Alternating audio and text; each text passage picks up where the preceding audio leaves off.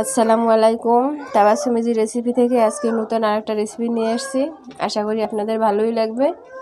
আজকে আমি ডিম রান্না করে দেখাবো অন্য রকমের। আমি এখানে পানি দিয়ে দিছি। আর পানিতে দিয়ে দেব লবণ। অল্প লবণ দিয়ে দিছি আমি। আর পানিটা গরম হওয়ার আগে কোনোভাবে গরম করতে যাবেন না বেশি।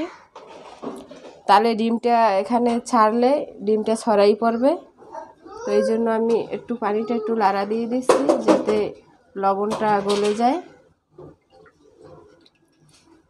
আমার পানিটা কিন্তু কোনোভাবেই গরম করি নেই, ঠান্ডা। আমি এই ঠান্ডা থাকতেই আমি ডিমগুলো ভেঙে দিয়ে দেব। আমি পানিতে ডিম পোষ করে নেব।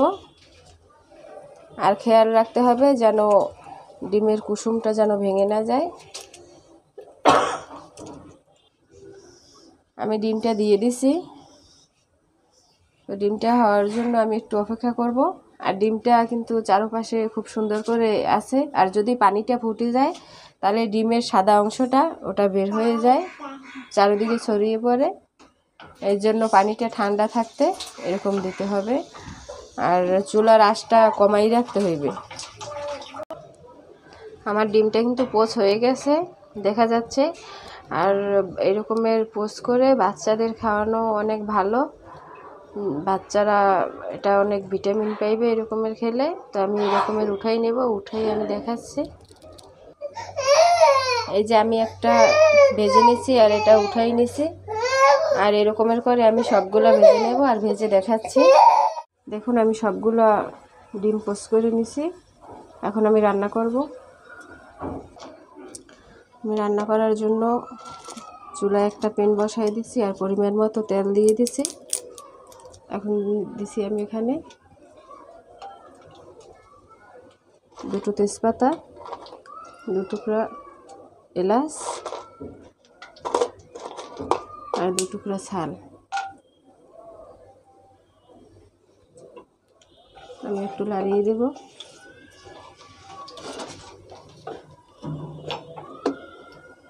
এখানে পেঁয়াজ বাটা।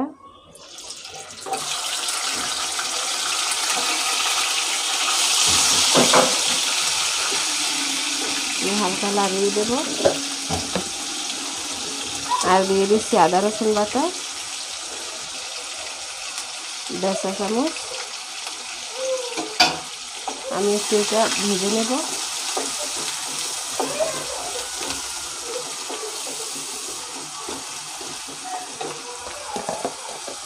হালকা ভেজে নিছি এখন আমি একটু সামান্য পানি দিয়ে দেব।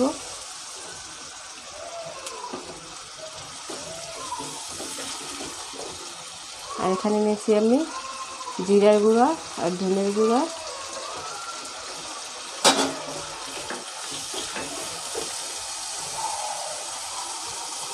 আমি হালকা লবণ দিয়ে দেব।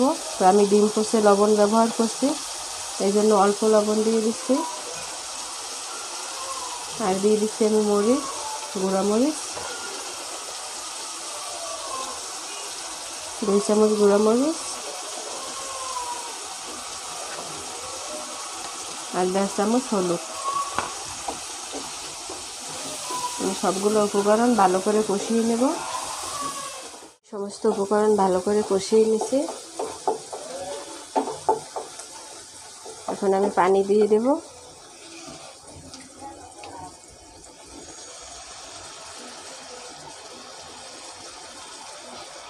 ডিম পোস্টটা একটু ধৈর্য করে বাঁচতে হবে, ধৈর্য সহকারে একটু সময় লাগে কিন্তু এই রান্না করতে বেশি একটা সময় লাগে না। তো আমি পরিমাণ মতো পানি এখানে দিয়ে দিছি এখন আমি ডিমগুলো দিয়ে দেব।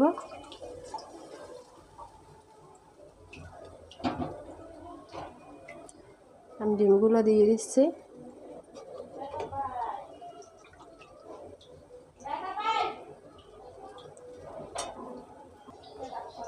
আমি ডিমগুলো দিয়ে দিছি, আর পাঁচ মিনিট আমি রান্না করব এটা।